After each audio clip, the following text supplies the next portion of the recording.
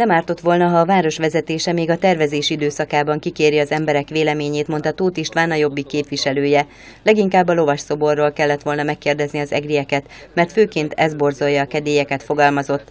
Hozzátette azt is, tudomásuk van olyan emberekről, akik arra készülnek, hogy odaláncolják magukat a szoborhoz, nem engedik elvinni. Kérdéseket tesznek föl a szúnyogköz átnevezésével kapcsolatban. Arról is érdeklődik a Jobbik, hol álljon az országzászló és tényleg kerékpárbarát városa Eger. A Jobbik nem épít adatbázist, mondta Bognár Ignác képviselő. A Jobbik szerint az már biztos, hogy kihagyta a városvezetés az embereket a döntéshozatalból.